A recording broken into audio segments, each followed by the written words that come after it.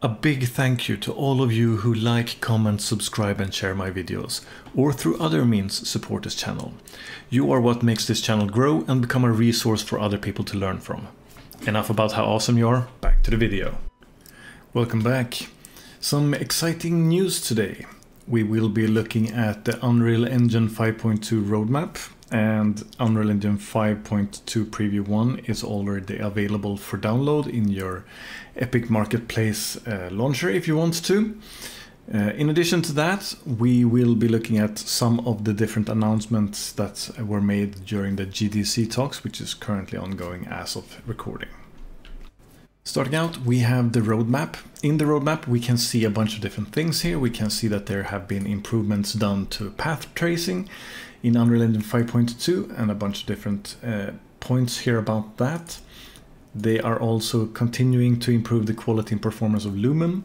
Here we can see that they're mentioning that they are handling global illumination better with occlusion when it comes to thin geometry, so things like nostrils and ears and um, cloth and such things to make sure that the shadows are being uh, softer in those situations.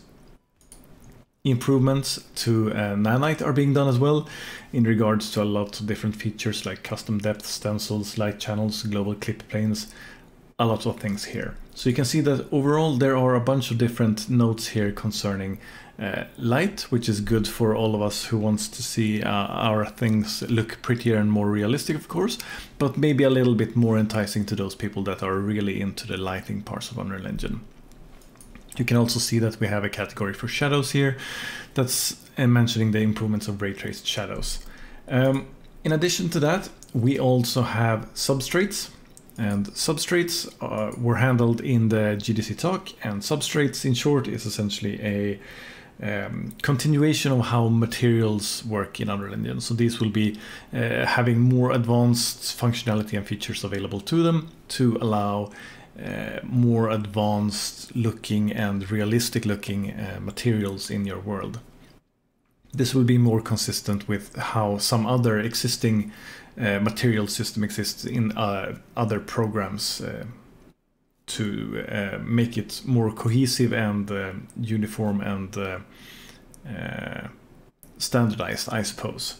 So this was previously called Strata but is now called Substrate. This is an experimental feature, and uh, with all things experimental when it comes to Unreal Engine, it's not necessarily going to end up at all like it is in its current form, or it could possibly even uh, not be added into the engine at all. Uh, however, they seem to be putting a lot of effort into Substrate, so I believe that it will be something that they actually uh, continue and finish on in the future. Next up, we have some virtual assets and developer tools that are available here. I could not see them mentioned here, so I will just mention them uh, as a side note. Uh, during the GDC talk, Epic mentioned that there is something called PCG, which stands for Procedurally Content Generated Framework, which will be a plugin that you can uh, make use of in Unreal Engine 5.2 and then it will be nativized later on, I believe. Um, it is essentially a procedural system that will allow you to generate environments uh, quicker and easier with as a sort of complement to handmade uh, environments. Um, so you can sort of configure how a assemble assembly, as they call it, uh, works together with well other assemblies, and then you can have splines and different parts to together form uh, different rule sets that will apply to uh, the environment so that it will adapt according to how you move around key pieces that uh, will um, make the environment sort of blend in and make it still look like it's uh, uh, natural uh, even though you're moving things around. So that way you have a lot of control when it comes to general environmental design, um, as well as you get the, the fine nitty gritty detailing and also the speed of getting procedural generation uh, involved in your project as well. In addition to that, we can also see that the character and animation uh, category gets some improvements.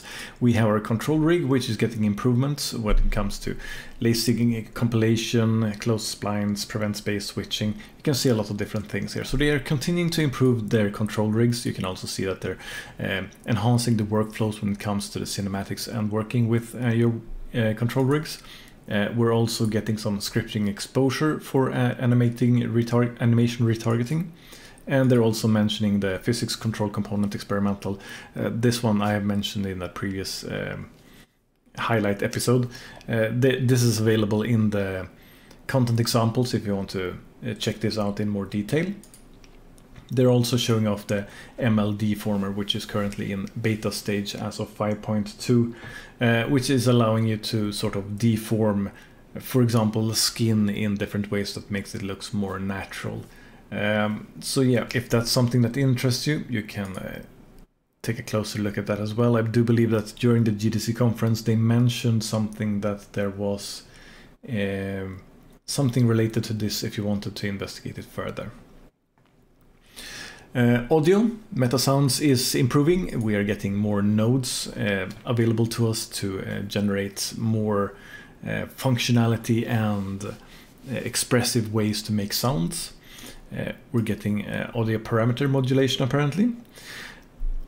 And moving on, we also have some things in the platform category, some in the content pipeline, and we also have some improvements on geometry tools, uh, both for uh, how we can add uh, better or more different types of modeling when it comes to the tools that are already in the engine but also improving upon the geometry scripting that they implemented and uh, released in uh, conjunction with the Lyra project. Uh, in addition to that, we also have a bunch of different uh, things related to cinematic and virtual production. I know nothing about this field, so I can't really cover anything here. Um, here we can see some interesting things. We can see something uh, mentioned here, Chaos Flesh uh, simulation. This was mentioned in the GDC talk as well where they were talking about how you can uh, use the mesh and uh, deform it in different ways depending on the complexity of the mesh and such. Uh, very interesting talk if you want to get to know that a little bit more. Uh, they also mentioned uh, Niagara Fluids.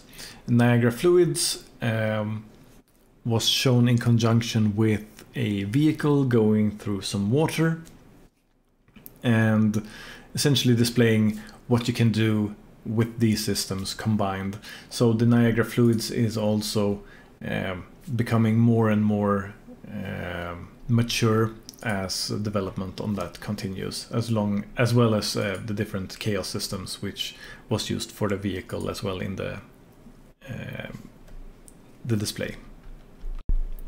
In addition to this, that was not even all of it, we also got an announcement when it came to something called Fab.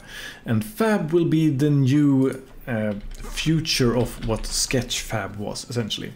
Uh, Fab will become a unified storefront, sort of a, a unified uh, collection for assets. You will have things like Megascans, the Epic Marketplace assets, Sketchfab, maybe even MetaHumans in the future. They will all be collected in a single place and it will be an engine agnostic marketplace.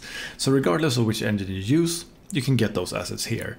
Uh, as a creator, you will get to keep 88% uh, of the revenue, which is the Epic uh, allowance when it comes to uh, selling things on their marketplace. Um, and in addition to that, if you are a user, it should become much more streamlined when it comes to actually making use of these different assets uh, inside of Unreal Engine because you will be able to bring them into your project really easily without even leaving the editor and you can easily preview and see the different details of the assets as well before you actually purchase them or make use of them.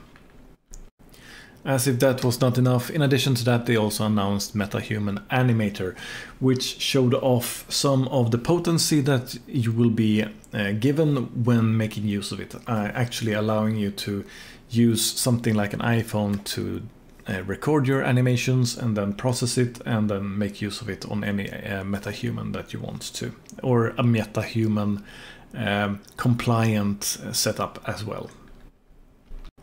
Anyway, that's going to be all for today. I hope that this was interesting and that you heard about some cool things that maybe got you a little bit hyped and uh, looking forward to the future and Unreal Engine in general.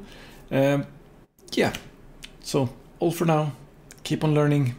Take care. Hopefully found this video helpful.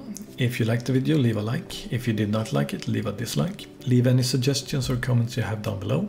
Subscribe and share this video if you want to see more like it in the future. That is all for now. Keep on learning. Take care.